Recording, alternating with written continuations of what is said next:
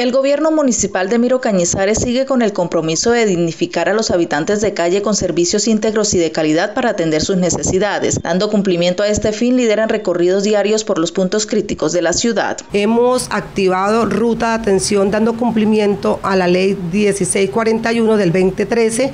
Es la política pública de atención al habitante de calle. Debemos garantizar los derechos y que no sean vulnerados.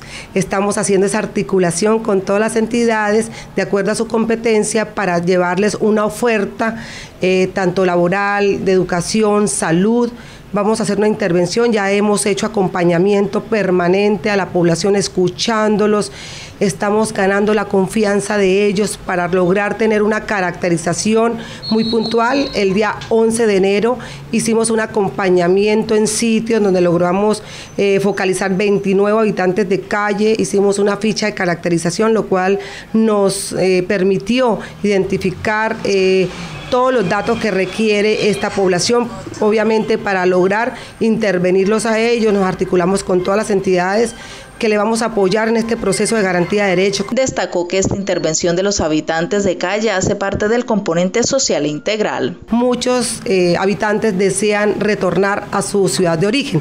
Ya tenemos la logística de transporte, alimentación, vestuario, útiles de aseo, para brindarles esas condiciones que ellos necesitan y pues mitigar en parte esta problemática social.